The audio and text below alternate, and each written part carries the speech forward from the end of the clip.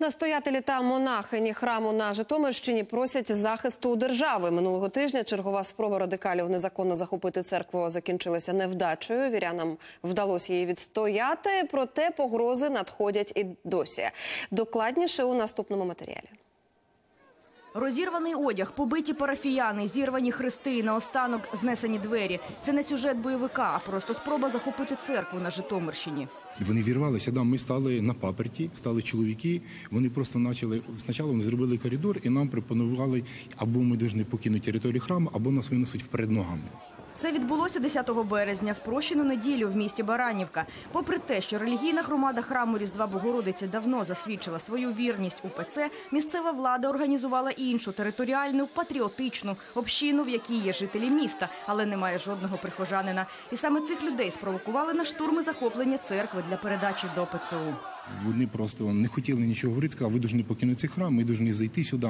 Ми так рішили. Олег Ковальський дав команду, нас просто почали збивати. Мене схватили перву, е, я вдержав в руки посох, мене почали кусати за пальця, прокусили мені пальця. Матушка Дмитрія почала кричати, що ж ви робите, що ж ви схімника б'єте, як ви можете так поступати.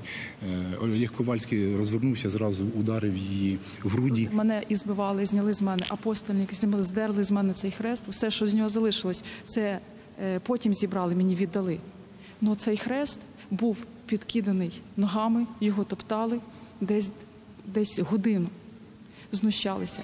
Рейдери болгаркою зрізали двері, проте всередину не увійшли. Того ж вечора до Баранівки приїхав чинний архієрей Житомирської єпархії митрополит Никодим. Двері вдалося приварити назад, та віряни залишились охороняти храм ще до опівночі. Митрополит каже, такі спроби захоплення храмів зараз не поодинокі. В багатьох е, районних е, районах нашої єпархії, у багатьох благочинях проводяться такі збори, які не мають ніякого відношення до релігійної громади. Це збирається територіальна громада, де вони голосують за перехід у так звану ПЦУ, де вони е, люди, які не мають відношення ні до церкви, ні до нашої конфесії, Після інциденту постраждалі звернулись до поліції. Проте розповідають, погрози з боку радикально налаштованих активістів не припинились. Є інформація, що деякі депутати міськради планують створити загони для захоплення храму Різдва Пресвятої Богородиці. П'ятий рік, як е, загинув мій син в зоні АТО. П'ятий рік я молюся, їжджу по святинях. Молюсь не тільки за сина, молюсь за всіх хлопців. І дуже прикро, що стаються отакі інциденти в нас по Україні. Ми, звичайно, надіємося на правовий захист, того, що надіємося і знаємо, що все-таки закон працює в нас в державі. Оксана Григорєва, Леоніда Ворін. Подробиці. Телеканал Інтер.